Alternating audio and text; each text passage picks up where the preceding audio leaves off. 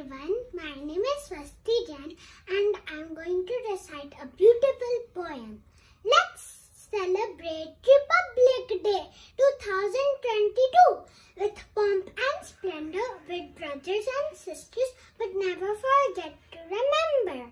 Remember the our freedom struggle, remember the sacrifices of our soldiers, the great freedom fighters. Remember the sacrifices of our leaders, the great sons of soil who died for the country, fighting together to attain freedom. Let's pay homage from heart's bottom to the great dedicated sons who led their lives into flame without name and fame. For the motherland joining hand